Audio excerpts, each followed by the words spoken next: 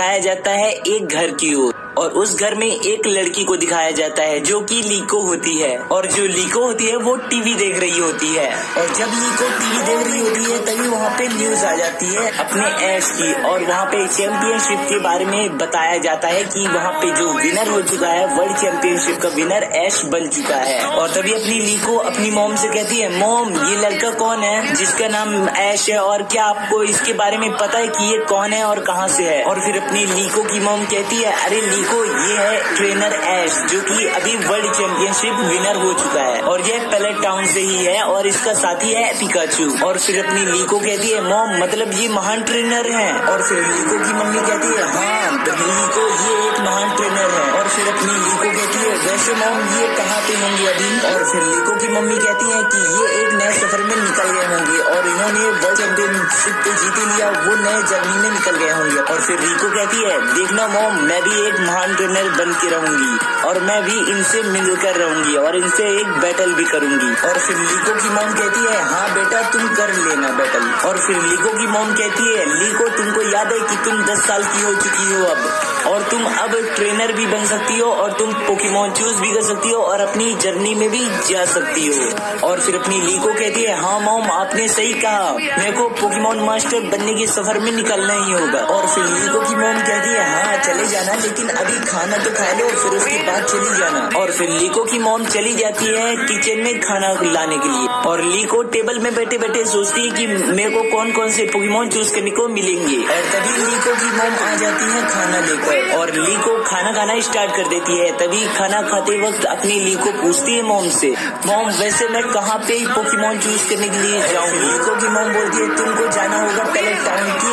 एक poke lab और जो की तुमको आसानी से मिल जाएगी क्योंकि पूरे पालिया रीजन में केवल एक ही पोकी लैब है और फिर ली को अपना खाना खत्म कर देती है और फिर ली को खाना खाने के बाद चल देती है तैयार होके अपने नए सफ़र की ओर क्योंकि वहीं से उसकी शुरुआत होने वाली है पोकेमोन जर्नी की। और जैसे ही ली को बाहर जाने ही लगती है वैसे ही लीको की मोम आ जाती है और अपने लीको को रोकती है और कहती है दो मिनट वेट करो लीको और फिर लीगो की मोम आती हैं और साथ ही साथ एक लॉकेट लाती हैं। और उस लॉकेट को लाते ही पहना देती हैं अपनी लीको को और फिर बोलती है लीको यह एक नॉर्मल लॉकेट नहीं है। और फिर अपनी लीको कहती है, मोम तो फिर ये लॉकेट है क्या? किस चीज़ का है और इसमें क्या चीज़ है? और फिर लीगो की मोम कहती है ये एक मिस्टीरियस चीज़ है। और साथ ही साथ इसमें तुम्हारे डैड की यादें भी जुड़ी हुई है। और तुम इसको कभी भी खोने मत देना। तुम याद से इसको पहने ही रहना। और फिर ली को कहती है, ओके मॉम, आपकी बातों का पालन करूँगी मैं। और फिर अपनी ली को अपनी मॉम को बाय बाय कह के निकल पड़ती है अपने सफ़र में। और फिर सीन चेंज हो जाता है और फिर दिखाया जाता है अपने रॉय की ओर, जो की में ही रहता है। और तभी वो तैयार हो रहा होता है। और वो कहता है, मॉम, जल्दी करो, मैं लेट हो रहा हूँ। पोकी लैब में मेरे को पहले ही बुलाया गया था। और मैं बहुत ज़्यादा ही लेट होने वाला हूँ। प्लीज़ जल्दी करिए मोम जल्दी। और फिर रॉय अपने कमरे में जाता है कुछ सामान लेने, तभी उसको एक मिस्टीरियस बॉक्स दिखाई देता है उसको अपने कमरे में। और फिर रॉय उस मिस्टीरियस बॉक्स नीचे ले आता है और कहता है, मोम, ये मिस्टीरियस बॉक्स किसका है?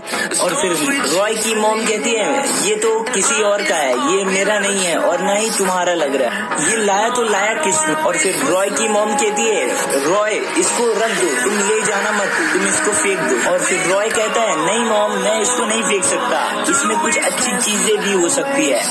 छोटा सा तो है ही है, मैं अपने बैग में डाल लेता हूँ, अपने सफ़र में काम आए। और फिर अपना रॉय की मोम कहती है, ओके, कोई ना और तुम मेरे को कॉल करते रहना। और तुम ध्यान से जाना अपनी जर्नी में। और सबसे पहले तुम पोकी लैब में चले जाना, जल्दी से जाओ। क्योंकि तुम बहुत ज़्यादा लेट भी हो रहे हो। और फिर कभी अपना रॉय कहता है हाँ मोम आपने सही कहा। मैं तो बहुत ज़्यादा लेट हो रहा हूँ। ओके मोम मिलते हैं बाद में।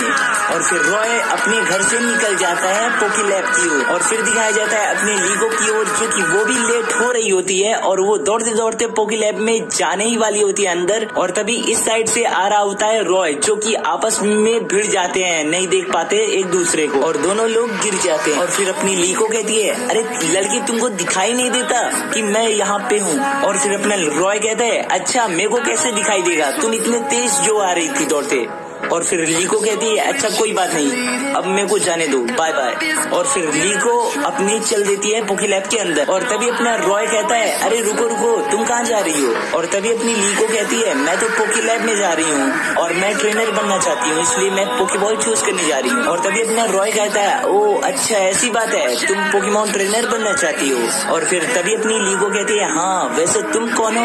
और फिर अपना रॉय कहता है, मैं हूँ रॉय और मैं भी एक पोकीमोन ट्रेनर बनना चाहता हूँ। और मैं भी यहाँ पे अपने पोकीबॉल चूज़ करने आया हूँ। और तभी अपनी लीको कहती है, मेरा नाम है लीको और मैं ट्रेनर बनना चाहती हूँ।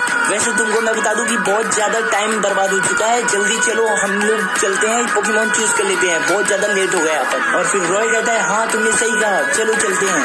और फिर रॉय और अपनी लीको दोनों लोग लैब के अंदर जाते हैं। और वो दोनों लोग जैसे ही अंदर जाते हैं पोकी लैब के तो वहाँ पे उनकी मुलाकात होती है प्रोफेसर से, जो कि उन्हें पोकीमोन देने वाले हैं। और तभी वो अपने प्रोफेसर बोलते हैं हेलो बच्चों, मेरा नाम है प्रोफेसर सिंसे और फिर अपनी लीगो कहती है, आपसे मिलकर खुशी हुई। और फिर अपना रॉय कहता है प्रोफेसर आप हम लोगों को हमारे पोकेमोन दे दीजिए। और फिर प्रोफेसर कहते हैं, अरे, तुम इतना जल्दबाजी क्यों कर रहे हो? टेंशन मत लो, तुम लोग आ गए हो ना, अब कोई लेट नहीं होगा। मैं तुमको पोकेमोन दे दूँगा। और फिर प्रोफेसर कहते हैं, आओ बच्चों, दोनों लोग मेरे साथ आओ। और फिर प्रोफेसर लीगो को ले जाते हैं दूसरे कमरे में, जहाँ पे बहुत सारी पोकीमोन दिखाई देते हैं। और फिर प्रोफेसर कहते हैं लीको और रॉय, दोनों लोग अभी यहाँ पे खड़े हो जाओ। मैं तुम लोग को तुम्हारे पोकीमोन ला रहा हूँ। और फिर प्रोफेसर उनके पोकीमोन लेने चले जाते हैं। और फिर अपनी लीको कहती है, मैं बहुत ज़्यादा एक्साइटेड हूँ।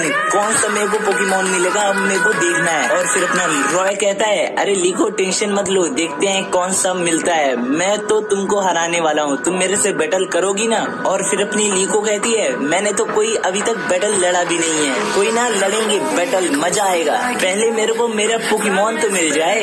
और प्रोफेसर आते हैं और अपने साथ तीन बॉल भी लाते हैं। और फिर प्रोफेसर कहते हैं, बच्चों, ये देखो बॉल लाते हैं। और फिर प्रोफेसर कहते हैं, बच्चों, ये देखो तुम लोग की पोकी बॉल और ये तीन पोकी बॉल में तीनों के तीनों पोकीमोन है। और तुम लोगों को किसी एक पोकीमोन को चूज़ करना है, जो कि तुम्हारी जर्नी में हेल्प करे और फिर अपनी लीको और रॉय कहते हैं हाँ प्रोफेसर और फिर प्रोफेसर तीनों पोकीमोन को बाहर निकालते हैं।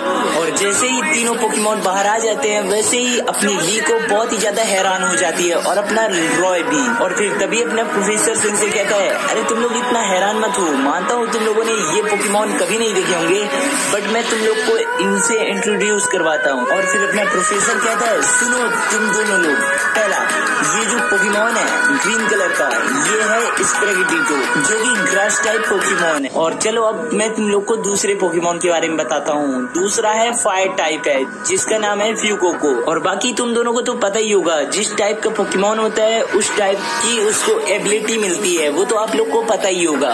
चलो, अब मैं तुम लोग को तीसरे पोकेमोन के बारे में बता देता हूँ। तीसरा पोकेमोन है, वो है वाटर टाइप जिसका नाम है क्रेक्सली और ये वाटर टाइप के मूव आराम से कर लेता है। तो बताओ लीको और रॉय कैसा लगा तुम लोग को ये पोकेमोन और बताओ तुम लोग को कौन से पोकेमोन चूज़ करने?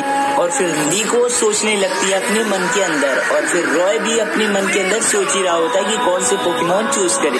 और तभी अपनी लीको बहुत देर सोचने के बाद वो कहती है, मैं चूज़ करूँगी स्प्रेगिटीटो को क्योंकि मेरा जो इंटरेस्ट है वो ग्रास टाइप में बहुत ज़्यादा है। और मैंने ग्रास टाइप पोकेमोन के साथ बहुत ज़्यादा खेला हुआ है। और मैं ग्रास टाइप पोकेमोन के बारे में अच्छी तरीके से जानती हूँ। और फिर प्रोफेसर कहता है रॉय तुम कौन सा पोकेमोन चूज़ करो तुम दोनों का पोकेमोन तय रहा तुम लोग अपने पोकेमोन ले सकते हो। और फिर प्रोफेसर उन लोगों के और बहुत सारे पोकेबॉल भी दे देते हैं, छह पोकेबॉल और साथ ही साथ एक पोके टैप भी देते और फिर प्रोफेसर कहते हैं, अब तुम लोग जा सकते हो। और फिर प्रोफेसर कहता है बेस्ट ऑफ़ लक बच्चों। और फिर लीको और रॉय बाय बाय कहकर निकल जाते हैं पोके लैब और लैब के बाहर पहुँचने के बाद अपना रॉय कहता है लीको तुम तैयार हो ना बैटल के लिए?